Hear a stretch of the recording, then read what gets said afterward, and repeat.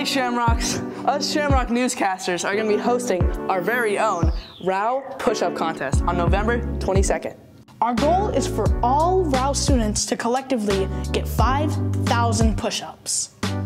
The competition will be hosted in room In the lobby! Now we're gonna ask some of the Rowe kids how many push-ups they can do. Who am I here with? Eduardo. All right, how many push-ups do you think you can do in a row? Uh, if I energy, I think I can do 50 push-ups, but if I'm really tired, I think I can do like 15 push-ups. All right, cool. Who am I here with today? Darren. And how many push-ups do, do you think you can do in a row? I think I think around like 15.